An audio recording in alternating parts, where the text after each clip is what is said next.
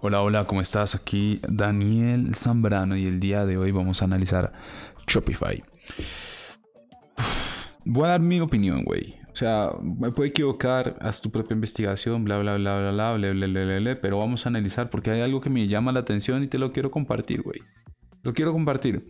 ¿Y para qué te lo comparto? Pues para que te sientas lo suficiente motivado para dejarle un like a este video.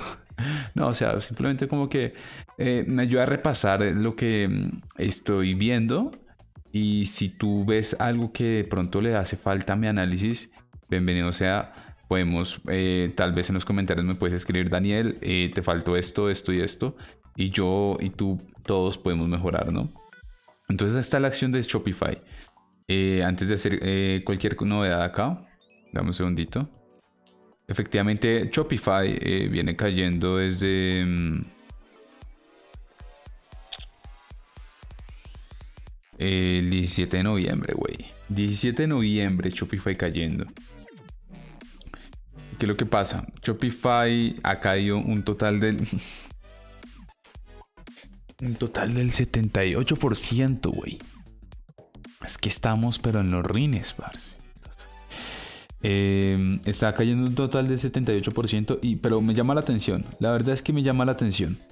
¿Por qué me llama la atención? Vamos a, vamos a borrar. Es que estas líneas, vamos a, vamos a empezar así de cero, así, todo chévere.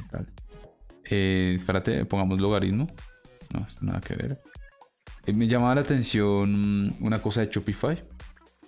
Shopify, bueno, es más que todo una, lo que tengo entendido, ¿no? Un procesamiento de pago y que, bueno, Sí, son muy... Y bueno, mucha gente lo conoce.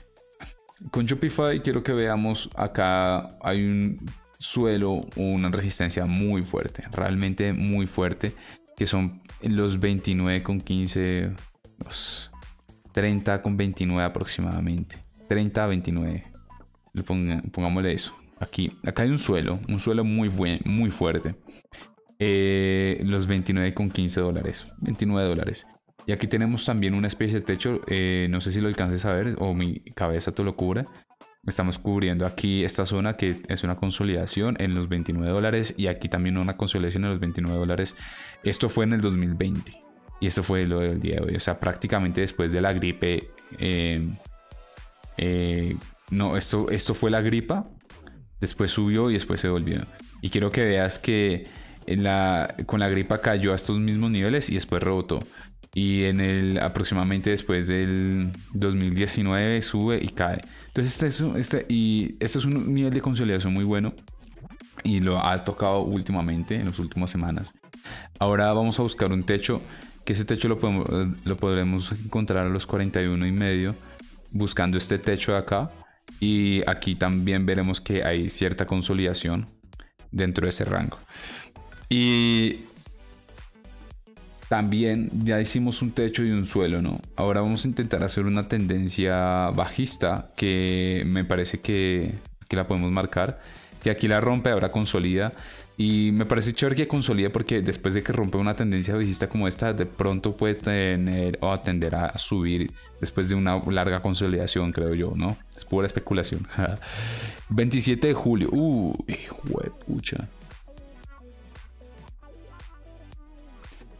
El 27 de julio presenta earnings, eso quiere decir por allá el miércoles. El lunes es 26, 25, martes 26, miércoles 27. Entonces estamos eh, viendo a mediados de esta semana que viene earnings. Y la verdad es que me llama la atención.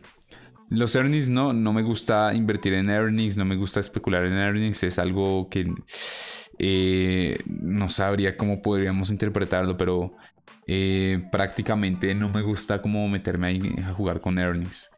También tenemos un split, según, si no mal recuerdo, de 10 a 1. Un split de 10 a 1, aquí lo vemos. No ha pasado la gran cosa después de ese split. Em, y ahora, ya que vemos esta gráfica diaria, ¿no? Es evidente una especie de canal, una especie de canal dentro de estos dos rangos. Lo que pasa es que quiero que imagines que tú estás en el segundo piso de tu casa de tu no sé, digamos que tú vives en una casa de tres pisos, ¿no? Eh, no, digamos que tú vivías en una casa de dos pisos. y tú estás en la azotea y quieres subirte a un tercer piso que todavía pues está clausurado.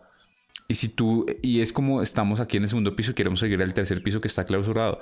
Y puede que efectivamente lo logremos y subamos al tercer piso y así compremos acá y efectivamente si subimos al tercer piso que está clausurado, perfecto, vamos para arriba. Pero hay que tener en cuenta que ese piso está clausurado y aquí una resistencia, es decir, que no va a ser fácil subir a ese tercer piso. Y si no lo logramos, efectivamente nos podremos resbalar y podremos visitar el primer piso, nos daremos un golpe bien fuerte. Entonces es un poco como que, hombre, tal vez una zona de riesgo es esta zona. ¿Y por qué? Porque efectivamente cuando llega a esta zona, cae. Y es probable, pero también es probable que en un punto rompa.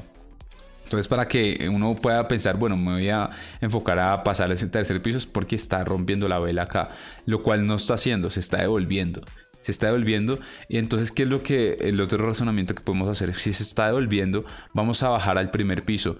Y si compramos en el primer piso, tal vez estamos comprando un muy buen nivel porque tal vez hay un chance de que rebote desde el primer piso y visitamos el segundo piso y podamos ganar una diferencia entre el piso 1 al piso 2 haciendo un swing de un par de días o un día. Es lo que yo creería sin tener en cuenta los earnings, porque los earnings nos pueden o sea, desbarajustar todo este modelo. Y me gusta mucho pensar eso porque dice, bueno, se está devolviendo y si va a visitar nuevamente los 30 dólares aproximadamente, bueno, alguien con buen estómago podría comprar y esperar a ver si su análisis está bien. Pero lo que no me gusta es que efectivamente los earnings están muy cerca. Lo que yo sí, lo que me gustaría ver en el mejor de los casos es que retroceda, aparezcan los earnings, no pase la gran cosa, retroceda como esta semana y efectivamente la, o sea, en dos semanas aproximadamente, si no estoy mal, dependiendo de cómo esté el mercado, o en semana y media, tal vez comenzamos a ver que está visitando los 30 dólares para luego rebotar. Y entonces es, es como un, tal vez es un incentivo de que uno, bueno, tal vez debo comprar los 30 dólares eh, y, y, echarme la bendición y ver si efectivamente rebota y poner tal vez un stop debajo de los 29 dólares porque si nos podemos equivocar, si comienza a romper este suelo, pues ya nos equivocamos, ya está, ya perdimos, pero no nos arriesgamos a perder mucho en mi razonamiento. Efectivamente desde los 30 dólares hasta por aquí hasta, es que es demasiado, güey. O sea, desde los 30 a los 36 es un 20%. Es que este túnel, este... Este túnel que vemos acá, güey, eh, este, es túnel. Este canal es, es, bien amplio. Este canal es del de punta a punta 25% aproximadamente. Me llama la atención. Me llama mucho la atención. Em, y recordemos que este canal no es cualquier cosa. Este canal viene y data desde aproximadamente, hombre, desde el 2019 prácticamente. 2020, aquí 2019. 2019 funcionó como un buen suelo. Mira que toca, rebota, toca, rebota y aquí en la plena gripa aquí toca y casi toca el mismo suelo y rebota y después de todo ese tiempo estamos haciendo lo mismo pero bueno, eso no quiere decir que en cualquier momento pueda, o sea, eso no quiere decir que pues vaya a repetirse lo mismo. Puede que eh, uno sea tan de malas que compre acá y caiga. No lo sé, güey. Por esa razón no me gustaban los earnings. O que uno puede ser tan de buenas que compra acá y rompa hacia arriba. No lo sé, güey. Pero es como jugar a la, ruleta. Tal vez también eh, muy recomendable aprender a usar stops eh, debajo de esta resistencia. Un poquito cerca.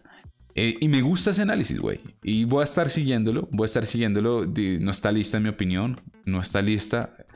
Eh, yo pensaría que si vemos niveles nuevamente los 30 puede ser muy interesante. Voy a estar revisándola. ¿Qué opinas? ¿Tiene sentido? ¿Muy arriesgado? Déjamelo saber.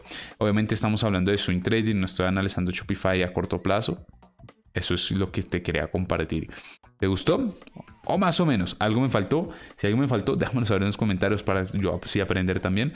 También, si quieres comenzar a invertir en bolsa, clic en la descripción de este video en el enlace de Telegram, donde mi mentor Greco García y yo comenzamos, eh, ayudamos a las personas a invertir en bolsa.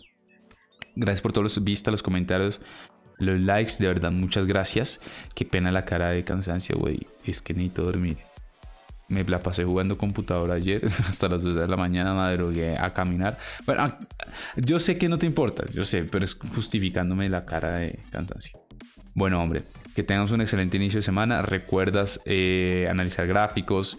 Eh, y si tienes alguna pregunta de esta gráfica, bienvenido sea en los comentarios. Tengas un excelente resto de domingo y nos vemos tal vez mañana, quién sabe. Un abrazo. Chao, chao.